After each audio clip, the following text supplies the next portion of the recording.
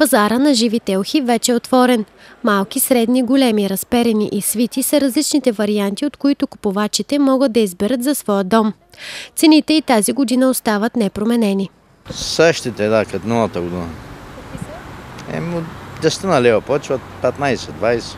Христо Топалов от 10 години е в бизнеса с живи елхи.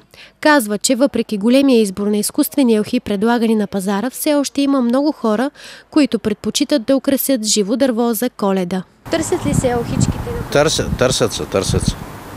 Предпочитат ли се от а, изкуствените? Да, Някои хора се взимат изкуствени, други повечето хора взимат естествени. И възрастни, и млади, всички купуват. Защо предпочитате естествената? Ами, обичам да ми замиришат за нова година. Изкуствено, все изкуствено. Чакам, децата ще дойдат, внуците ще дойдат. Ще украсявате заедно. Естествено. Живите елхи в саксии също са предпочитан избор. Предимството им е, че след края на коледните и новогодишни празници дръвчетата могат да бъдат посадени на открито, където да пораснат и да радват следващите поколения.